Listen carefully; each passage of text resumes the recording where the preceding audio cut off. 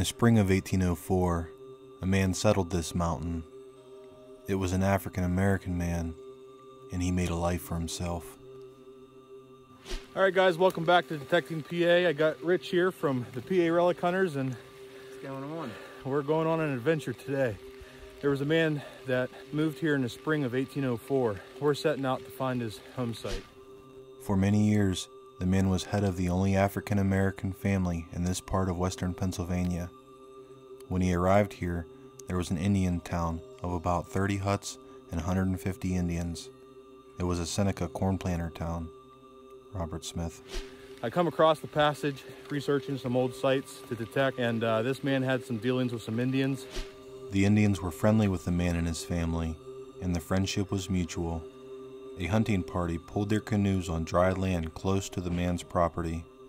They spent several days hunting and returned laden with game. So if we can find this the cellar hole or the home site, we got our detectors with us. We're gonna swing and try to find some iron in the ground. Hopefully come across it. So we don't have a whole lot of time today. It just might be a searching mission, but If you can find anything, it'd be awesome. That's So- all that matters. that's all that matters. The river having risen in the meantime, their canoes would have been swept downstream if the man had not secured them. When the Indians realized the facts and the kindness of him, they expressed their gratification by dancing, singing, and shouting. Robert Smith.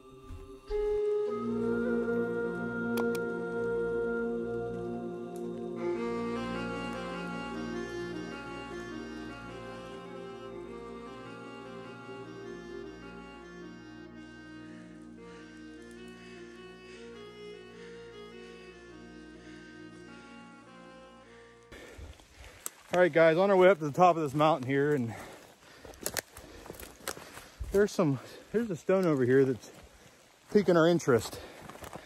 I just want to see if it's a cut stone. Why it would be here, I have no clue. I don't know if we'll get your guys' opinion. What do you think about that? It looks awful square to be uh, made by nature. We'll have to uh, keep this in mind for uh, another time. But uh, I mean, there's other stone in here, whether that's just part of the mountainside or what. So, Square one there too. Yeah.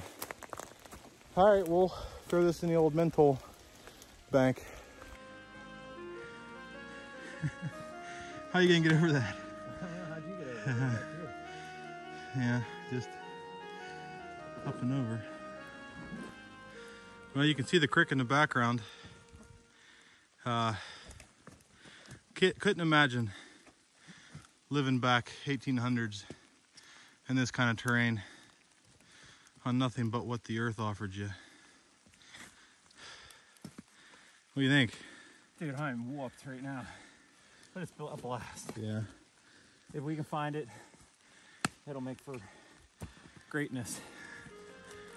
Yeah.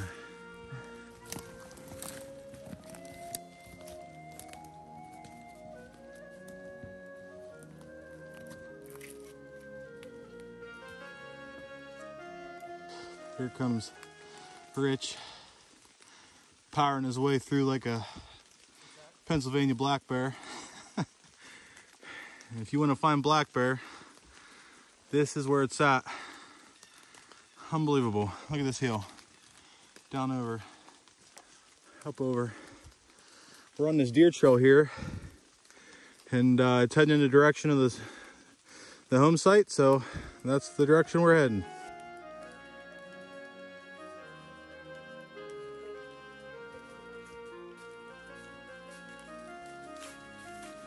All right, guys, uh, we're starting to get a little remnants of some uh, human activity on this mountainside. I don't know if you can see, we're not quite to the top yet, but uh, you know, we're starting to see there's a piece of tile over there and starting to see some activity. Um, Rich said that he thought there was a farm on top of this hill, so this would make sense that they're throwing stuff down over this big hillside. But uh, we still got a little ways to go. So stay with us and uh, hopefully we come across the old uh, home site. All right, well, we made it. Not to the home site, but to the top. That was a good, what, hour hike? Hour plus, yeah. And uh, we're to the top. We probably got another half mile into the uh, home site, but uh, we should be able to cover some ground now.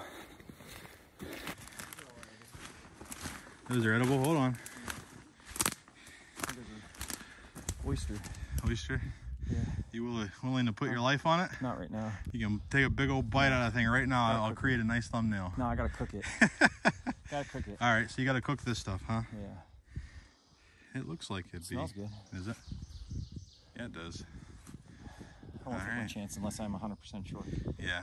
But yeah, I wish I'd find some morels and then it'll be. A, All right, so we're extremely close. We're thinking. Um, it's hard to say exactly where it's at. Uh, We're. It looks as though on the topographical map, he's on this hillside.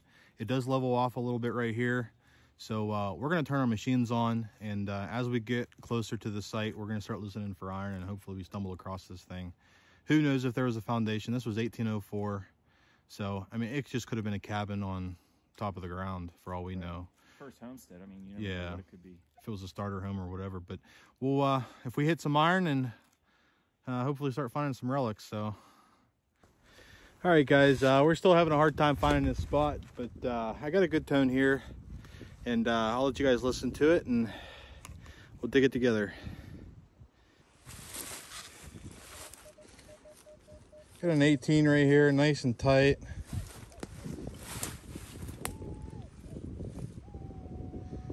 Nin- 18, 19, so go ahead and dig it. We've dug a couple shotgun shells so far, but you know, that's a pretty decent signal, so it's not very deep. So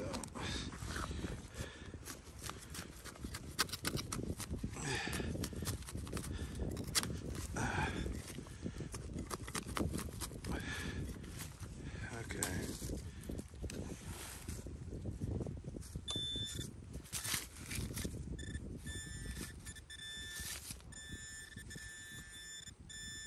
Oh, right there.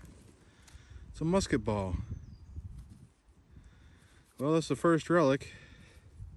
That's an old one. It's got the patina of an old one. This may not necessarily be from the home site, but it's definitely period. Yeah, that's an old relic there.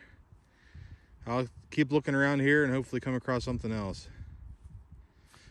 Guys, uh, finishing up here.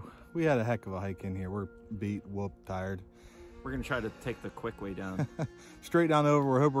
We're Hope hoping we don't have the cliff or Yeah. anything. So So uh, yeah, dug a lot of shotgun shells. The only thing we really found of period was uh, this musket ball.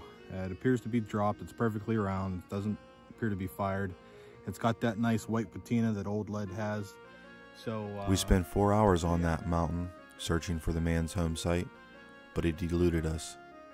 Many questions remain about how this man came to this mountain and obtained land for himself in 1804.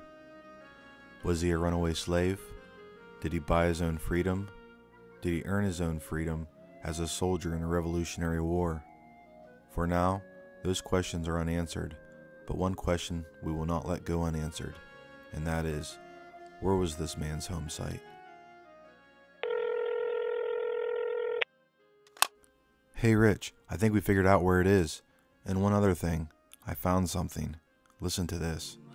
To this place I brought with me three old Spanish dollars, two thousand of coppers, and five pounds of my wife's money, which I buried in the earth. I was then 31 years old.